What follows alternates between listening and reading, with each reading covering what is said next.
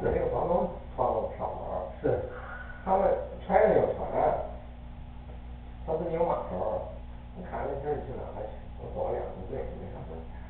是鱼头挺好啊然后在阿拉斯加呢，他规定是必须缴费了，咱们还得他妈的啊这样是不了意思呃鱼头是不错，嗯这个这个这个这个是三文鱼的肉没法卖。